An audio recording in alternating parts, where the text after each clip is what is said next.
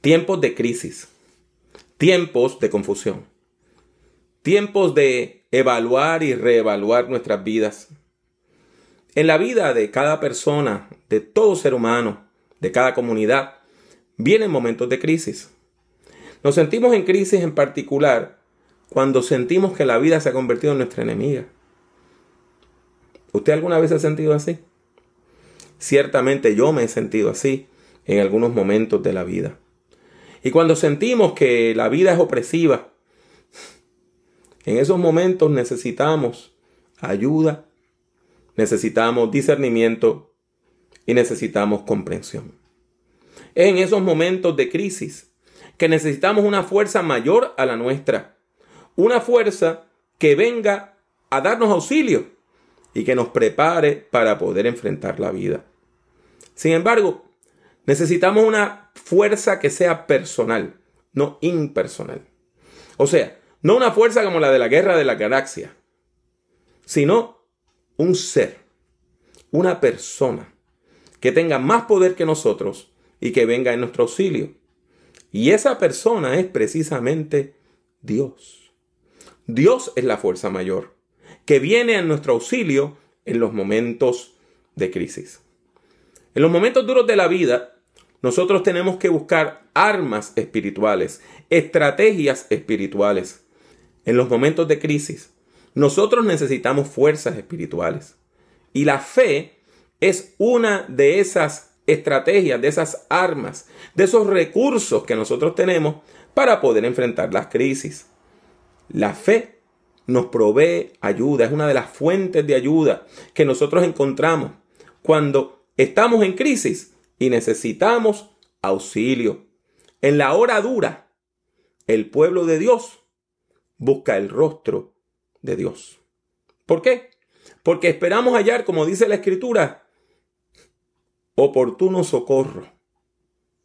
El oportuno socorro que tanto necesitamos, lo encontramos en Dios.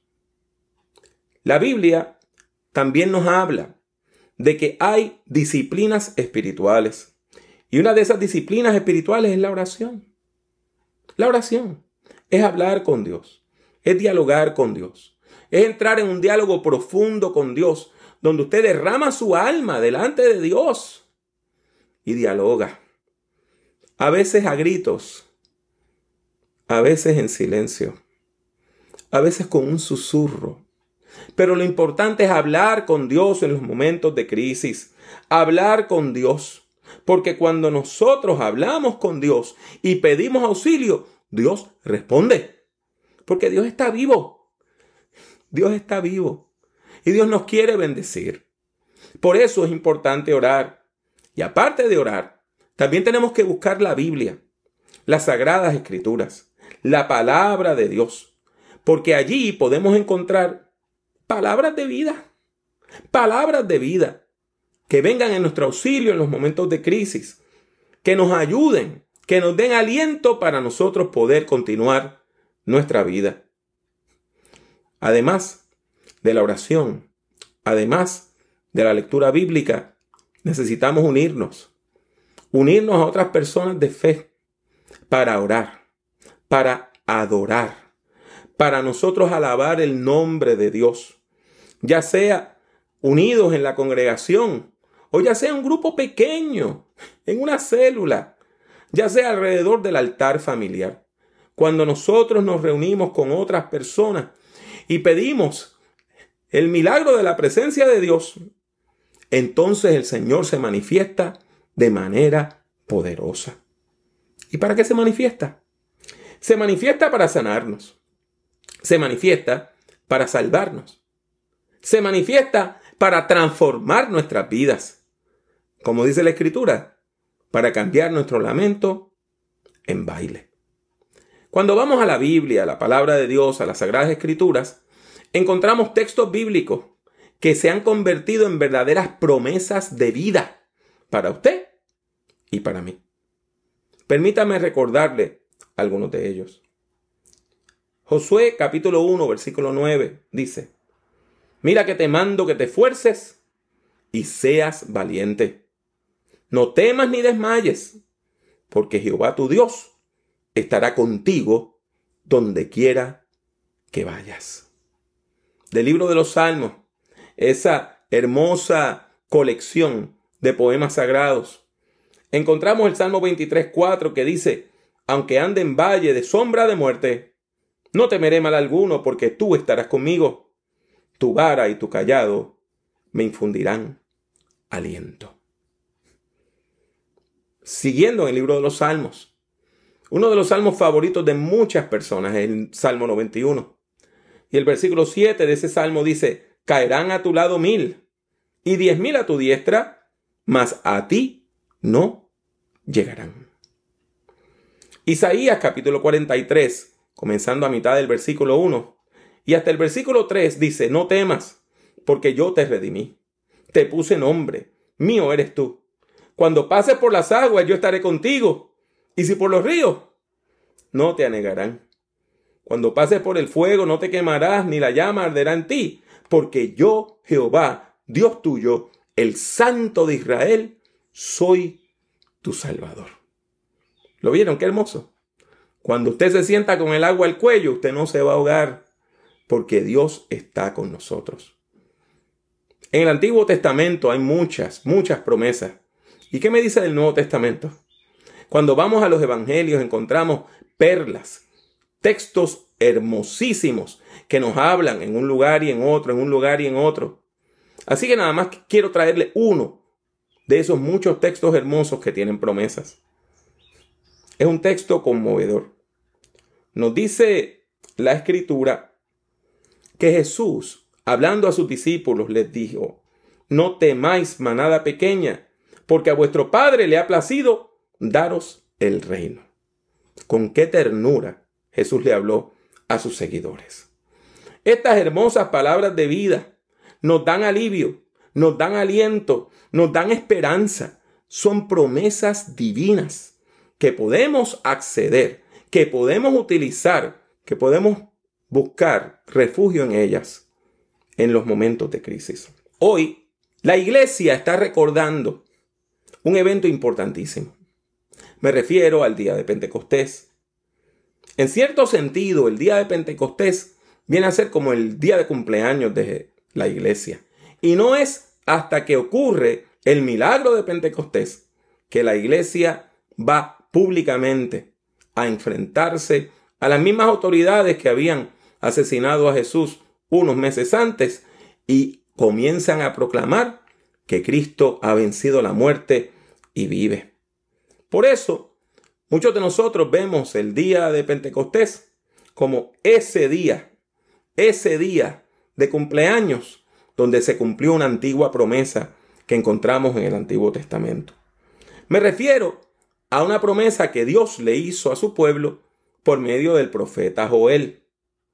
Joel era un profeta de Israel que recibió un llamado de Dios para profetizar precisamente en tiempos de crisis, en tiempos difíciles. Dios le comisionó para hablar en su nombre en tiempos muy duros, cuando una plaga de insectos había destruido todos los cosechos. Y los desastres causan crisis. Había hambre, no había trabajo. La gente estaba desesperada. Cuando hay crisis económica, hay crisis social. Y cuando hay crisis social, hay crisis espiritual. Porque el no tener trabajo, el no poder comer, el no tener recursos para vivir, afecta el alma y el espíritu.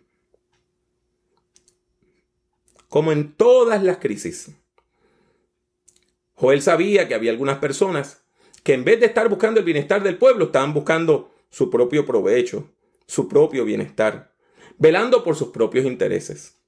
Y por eso, en el capítulo 1, versículo 5, le habla a un grupo de personas que lo único que lamentaban de la hambruna era que no podían tomar vino. Vamos, borrachos, levántense, despierten y pónganse a llorar, pues ya no van a tener vino. Dios sigue hablando al profeta y le motiva.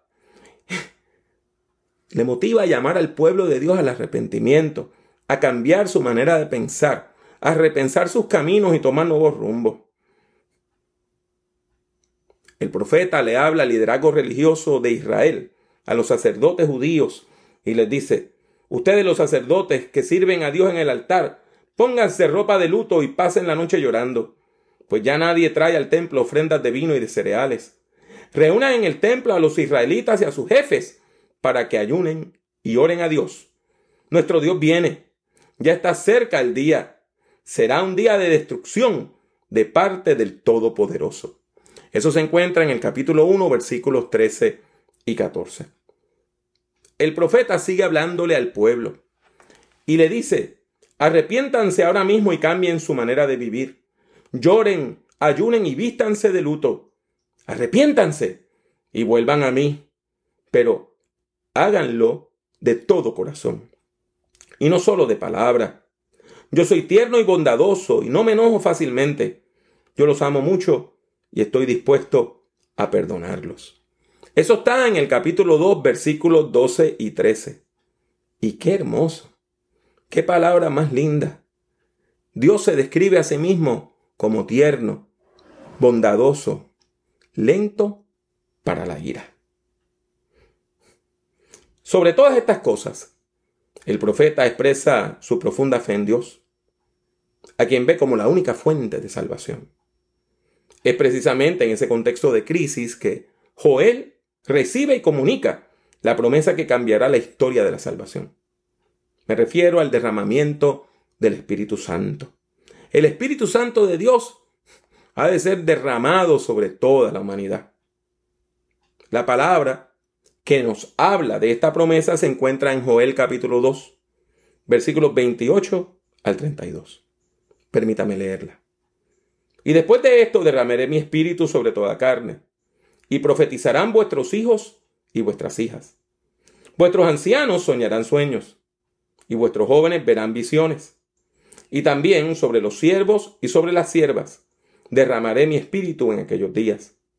Y daré prodigios en el cielo y en la tierra, sangre y fuego, y columnas de humo. El sol se convertirá en tinieblas, y la luna en sangre antes que venga el día grande y espantoso de Jehová. Y todo aquel que invocar el nombre de Jehová será salvo. Porque en el monte de Dios y en Jerusalén habrá salvación, como ha dicho Jehová, y entre el remanente al cual él habrá llamado. La promesa está clara. Dios va a derramar su Espíritu Santo. ¿Para qué? Para capacitar con poder a los seres humanos, a toda la humanidad, capacitarlas, de manera que puedan enfrentar la dureza de la vida con éxito. Dios promete capacitarnos. Dios promete darnos poder del cielo. Dios promete poner en nuestras manos las herramientas espirituales que necesitamos para enfrentar y vencer la crisis, tanto al nivel personal como al nivel social. ¿Reciben ustedes esa promesa? ¿La entienden? ¿La internalizan? Esa promesa divina es para toda persona, de toda edad y de toda condición social. La Biblia nos dice que para los hijos y las hijas, para los ancianos y las ancianas, para todas las personas jóvenes, aún para las personas más pobres, los esclavos, las esclavas, los siervos y las siervas, que trabajan tan y tan duro, aún hay Espíritu de Dios para ellos, para ellas. El cumplimiento de esta promesa vendrá acompañado de señales y de prodigios, dejando claro su origen divino. Al final, toda persona que se acerque a Dios con una fe sencilla, con una fe sincera, podrá alcanzar salvación. ¿Cómo dice el texto que leímos? Y todo aquel que invocar el nombre de Jehová será salvo.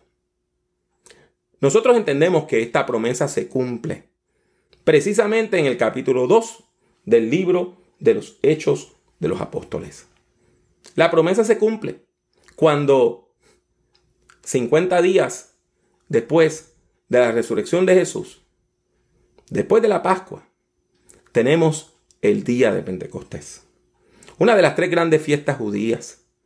Había en la ciudad entre 100.000 a 250.000 visitantes. Venían de todas partes del mundo, de todos los confines de la tierra. Habían personas allí que hablaban todos los idiomas conocidos en la época. Y estas personas verían a peregrinar al templo de Jerusalén. Y es precisamente este día cuando la iglesia está en oración. La iglesia está en oración.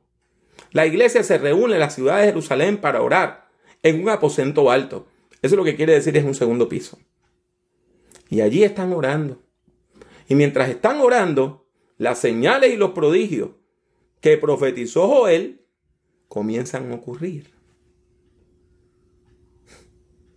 Escuchan como un huracán, como un viento recio. Y cuando abren los ojos ven sobre cada una de las personas de allí columnas de fuego sobre sus cabezas, como lenguas de fuego. Y ese, ese momento espiritual tan profundo va acompañado de aún otra señal. La gente empieza a hablar en distintos idiomas. hablar de Cristo en distintos idiomas. Y usted tiene que comprender, hemos leído la escritura. ¿Quiénes eran los seguidores de Jesús? En su mayoría eran gente sencilla, pescadores, gente sin escuela. Y de momento están hablando en todos los idiomas del mundo. En latín, en griego, en copto, en siriaco, en arameo, en hebreo. Están hablando en todos los idiomas. Y están diciendo que Jesús ha resucitado. Ese milagro hace que la multitud note que está pasando algo. Y cuando pasa la gente por la calle y escuchan que están hablando en su idioma y escuchan que están hablando en su idioma, se empieza a golpar la gente. Claro está, siempre hay personas que se burlan y que decían que esa gente estaba borracho. Pero aquellos que entendían lo que se estaba diciendo, se acercan. Y ocurre un milagro más. Pedro, el mismo hombre que menos de 60 días antes se había escondido mientras Jesús era juzgado y crucificado. Ahora, lleno de valentía, lleno del Espíritu Santo, se pone en pie en medio de una multitud y afirma que a este Jesús que ustedes crucificaron, Dios le ha hecho Señor y Cristo. Ya no tenía miedo, ya no tenía temor. Y ante las mismas autoridades y los mismos militares que asesinaron a Jesús, él se para a decir que Jesucristo ha vencido la muerte con poder. Bendito y alabado sea su nombre por siempre. La iglesia primitiva entendió perfectamente que la profecía de Joel se había cumplido el día de Pentecostés. Y damos gracias a Dios por eso. Sin embargo, yo quiero proponerles algo más. Y es que esa promesa que se cumplió para unos sigue abierta para otros. Aunque usted no lo crea, hay personas que piensan que los dones espirituales eran una serie de señal que Dios dio en un momento muy particular para un grupito muy pequeño de gente y que ya no se dan. Pero nosotros, que hemos experimentado el avivamiento, que hemos experimentado el poder de Dios, que hemos visto gente hablar en lenguas, que hemos visto gente que está interpretando las lenguas, que tienen dones de profecía y de sanidades. Nosotros que hemos visto el poder de Dios en acción en nuestros medios, sabemos que esa promesa no está cancelada. Por el contrario, está abierta. Está abierta. Nosotros entendemos que Dios todavía desea salvar a quien le busque con fe. Nosotros entendemos que Dios desea capacitarnos Dios desea capacitarnos por medio de su Espíritu Santo para que usted y yo podamos enfrentar y vencer todas las crisis que puedan afectarnos. La promesa sigue abierta. La promesa sigue viva. La promesa sigue al alcance de nuestras manos.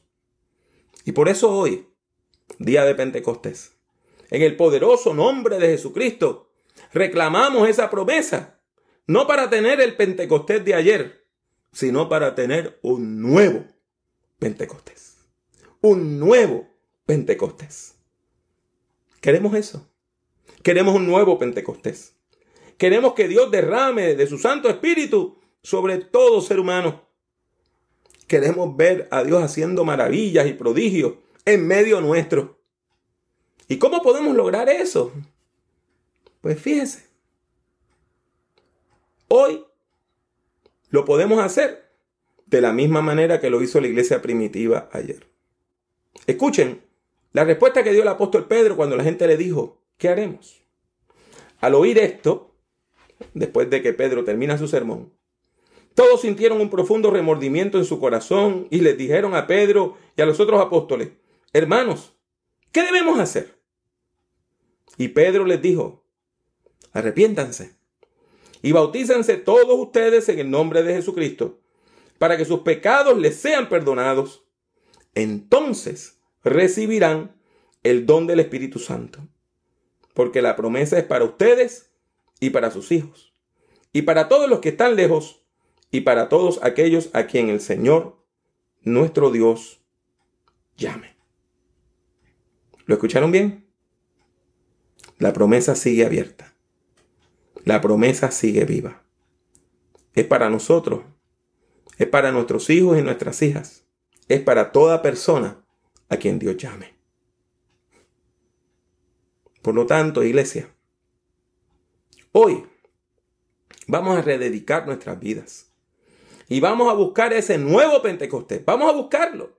Ese nuevo Pentecostés. Vamos a pedirle al Señor que mande poder del cielo. Y vamos a invocar su nombre. Porque la palabra de Dios nos dice que todo aquel que invoque el nombre del Señor será salvo.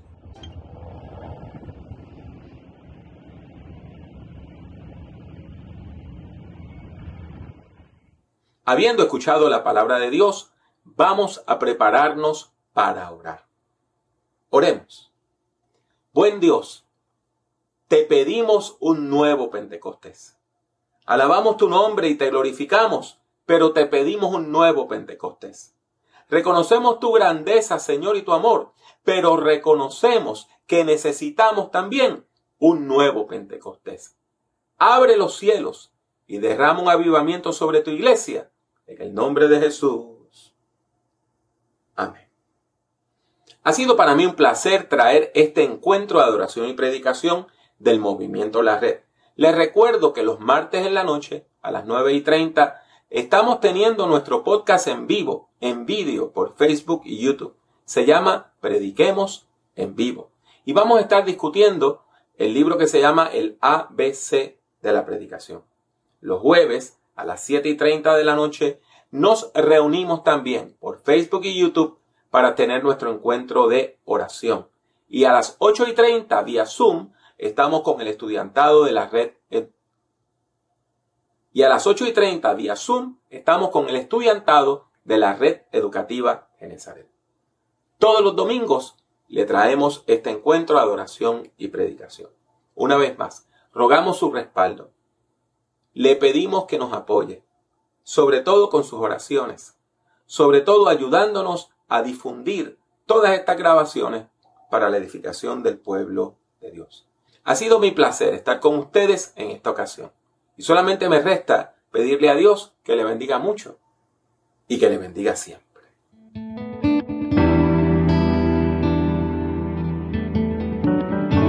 Únase al movimiento La Red visitando nuestra página web www.movimientolared.com. Busque el Movimiento La Red en Facebook y suscríbase a nuestra página oprimiendo el botón de like me gusta. El Movimiento La Red es una comunidad de fe que se reúne a través de las redes sociales. La participación es libre y voluntaria. Está abierta tanto para ser su principal comunidad de fe como para enriquecer su vida espiritual. La Red es un movimiento cristiano que no está afiliado a denominación alguna.